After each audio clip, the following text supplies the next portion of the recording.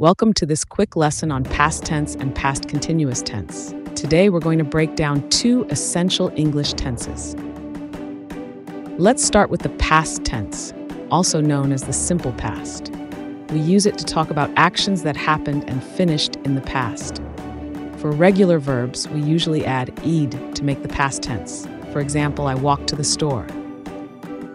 Be careful. Some verbs are regular, meaning they change completely in the past, like go becomes went. The past tense is used for completed actions. Once it's over, we use the simple past to describe it. Now let's talk about the past continuous tense. We use this tense for actions that were ongoing in the past.